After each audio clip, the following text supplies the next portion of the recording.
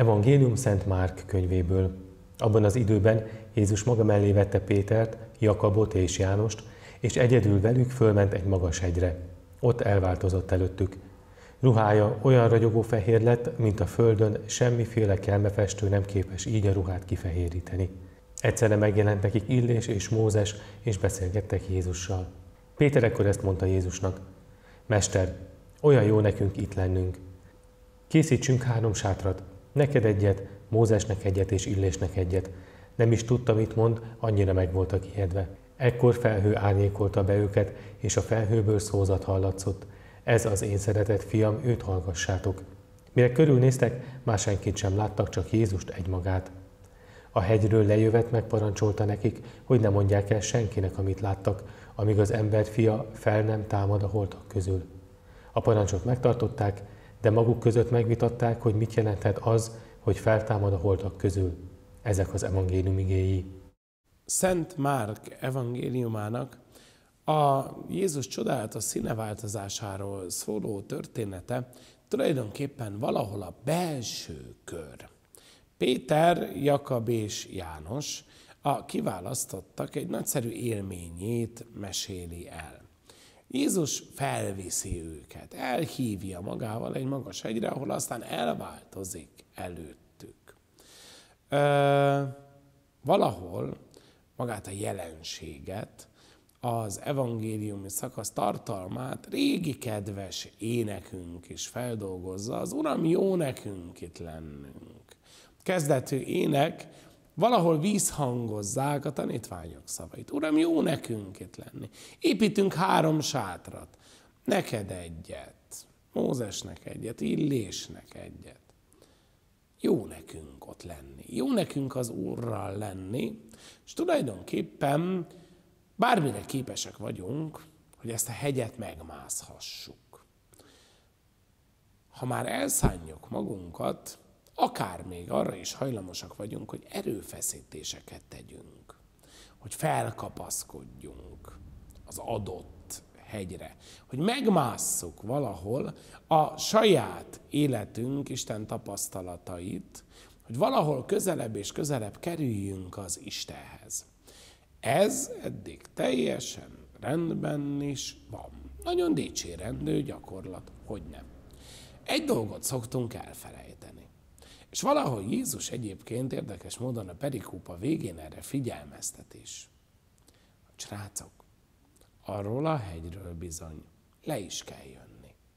Hogy nem szoktuk az életünk gyertyáit a két végén égetni. Hogy nem arra vagyunk forma tervezve, hogy állandóan hatalmas nagy égő, lánggal lobogó Isten élmények, tapasztalatok bűvöletében éljünk, hogy állandóan és mindig lelkesedni tudjunk valamiért és valakiért. Vannak az életben nyilván szürkép időszakok, ami nem azt jelenti, hogy az Isten elhagyott bennünket, amikor éppen az angyali karoknak, a rózsaszírmoknak, a jó illatnak vagy a harsonáknak momentán máshol van dolguk, véletlenül sem arról van szó, hogy az Isten elvitatná, vagy megvonná tőlünk a barátságát, csupán néha azt mondja, hogy most te jössz egyébként, szabad megmutatni, hogy amit neked adtam, abból mire jutottál. Hogy bizony, nyilván az ember életében vannak táborhegyek, vannak nagy Isten élmények, vannak pillanatok, amikor nem akarunk elmenni, amikor jó itt lenni, amikor ösztönösen húz a szívünk a templomba, a tabernákulum elé, amikor szinte énekel az ember lelke és röpül. De soha nem szabad azt elfelejtenünk, hogy ezek a töltekezések, ezek az élmények pontosan arra valók, hogy időről időre erről a hegyről lemászva, visszatérve a világba, a mindennapokba, az életünkbe, a munka világába, a barátaink közé, a családba, ezeket meg tudjuk mutatni.